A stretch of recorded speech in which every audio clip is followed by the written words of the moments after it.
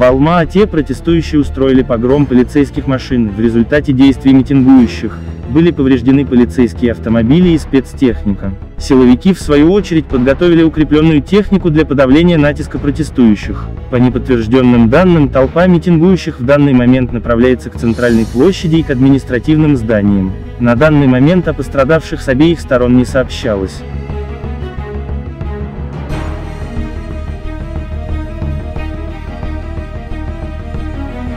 Подписывайтесь на наш канал, чтобы всегда быть в курсе событий.